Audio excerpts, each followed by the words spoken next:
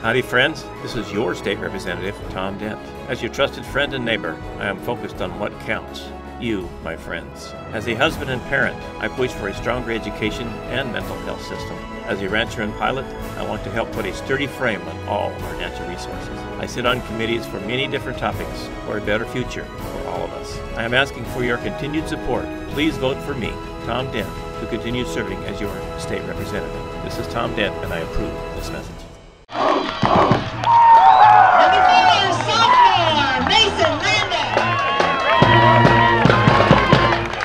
53, senior, Dylan Gross. An annual football clash between two high schools in the Upper Valley that are just under 12 miles apart was renewed on Thursday night in Cashmere. 2018's Pear Bowl was also senior night for the Bulldogs, who marked the occasion by showing some love for the parents and families who have supported its players through their years in the program, but certainly didn't find them handing out any roses to their visiting rivals, the Cascade Kodiaks. As the game got underway, the teams found themselves in a bit of a watermelon seed spitting contest, with Cascade scoring on their first play from scrimmage on a 73 yard touchdown pass from sophomore quarterback Cole Warnica to junior Teague Duncan to go on top 7 to nothing. And Cashmere coming right back just two plays later with a 67 yard completion from sophomore quarterback Sam Phillips to junior tight end Brooks Elliott, setting up a one yard keeper by Phillips to tie the score at 7 up.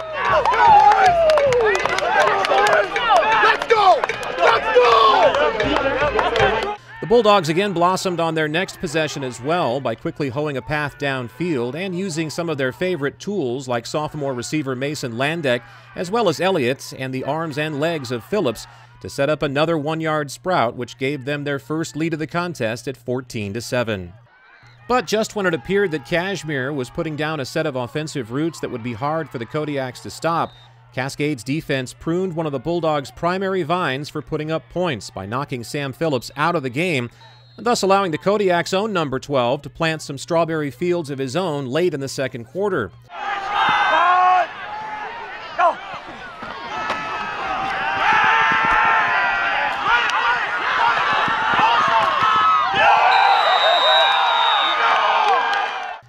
But on a fourth and goal from the Bulldogs' one yard line with only 20 seconds remaining in the first half, Cascade was called for a procedure penalty and had to settle for a 23 yard field goal by senior Jose Valdez instead of going for six, keeping Cashmere in front by the score of 14 to 10 at halftime.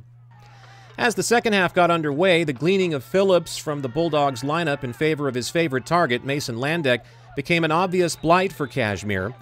However, even though their offense was looking more and more like the Pits with each subsequent possession, the Bulldogs' defense came up peachy keen and continuously stunted the Kodiaks' ability to clear a path to the end zone. Meanwhile, Cascades D was eager to reap the benefits of Cashmere's continuing drought on offense, but their overeagerness repeatedly got the better of them, including off a shanked punt where they were flagged for a roughing the kicker, which otherwise would have put them in great field position but gave the Bulldogs a first down instead. But the Cashmere O was again unable to grow anything useful out of the Kodiak's mistake, and Cascade special teams eventually plowed through the Bulldogs' line for a blocked punt, which this time wasn't subject to any yellow squash from the officials. With the arrival of the fourth quarter and the momentum back in favor of the Kodiaks once more, all the beans seemed to be on Warnica finally throwing up a long enough stock to reach the end zone to put his team back on top. But once again, the Cashmere defense was lying in wait to chop down any thoughts of that happening.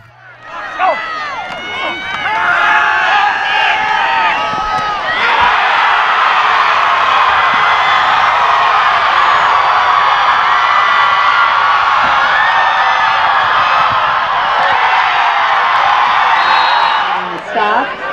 Bring up first down for the Kodiaks. Nice job, second down! Senior Dylan Gross's interception and lengthy return finally put the Bulldogs' seedling signal caller in good enough position to do some goal line gardening for himself, or so it seemed. Cashmere's chance to score in their third touchdown of the game from a single yard out and potentially put what had become some pretty low hanging fruit on the second half scoreboard out of reach was squandered away on a fumble. And it didn't take long for the Kodiaks to start picking the tree once more by mowing their way to midfield on the very next play on a long run by Jose Valdez. Hey, White! That's with the Let's go, turn it up some more right now, turn it up some more!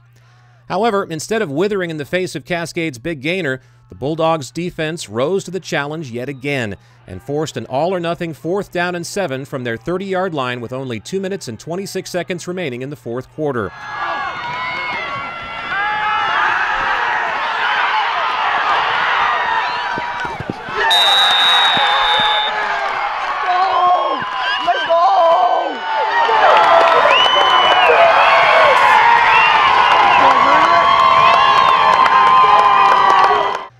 By the end of 48 minutes under the lights off Tigner Road, Cashmere's defense had come up plumb perfect by blocking any rays of light the Kodiak's offense had hoped to find in shutting out Cascade for the entire second half.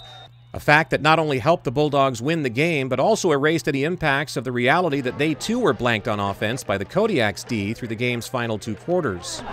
Gentlemen, boy, do I love this football team. Let's go! I said it once, I'll keep saying it. I love this team. Everybody step, coach. Man, that was fun. Coaches, what else? Defense! You smile like you just got Congratulations, guys. Thank you. Let's go!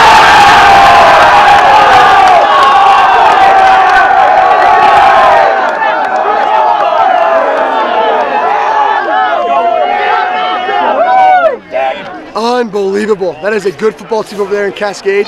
Uh, a hard fought football game.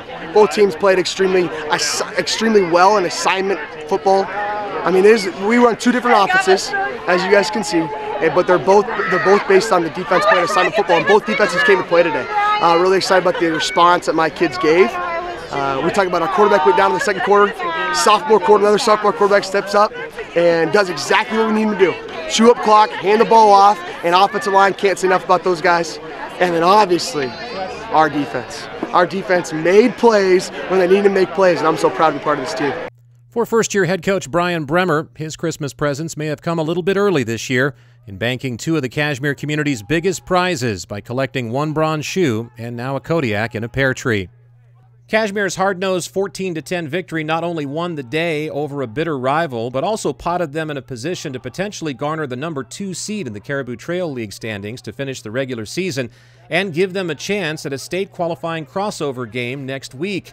In order to get there, however, the Bulldogs must prevail in a three-team Kansas City tiebreaker at Sargent Field in Chelan on Saturday, involving both the Okanogan Bulldogs and, once again, the Cascade Kodiaks. Reporting for iFiber One Sports, I'm Chris Hansen.